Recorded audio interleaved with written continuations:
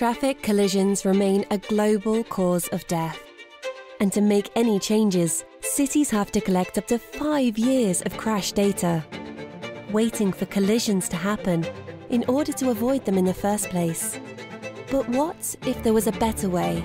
What if daily conflicts and everyday road behaviour could be put to preventative use? Today, Brisk Synergies uses AI and video analytics to help cities understand the risks on their roads.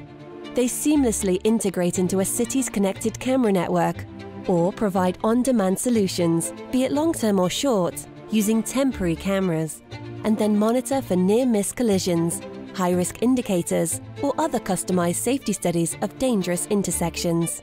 The continuous data then pipes right back to the planners of cities so that they have the access to actionable insights and dashboard analytics. This enables cities to make decisions from root cause observations, all at a fraction of the previous time and cost.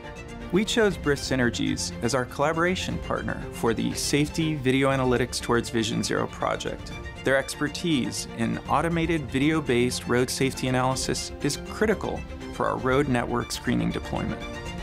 Partner with Brisk Synergies to build safer roads for smarter cities.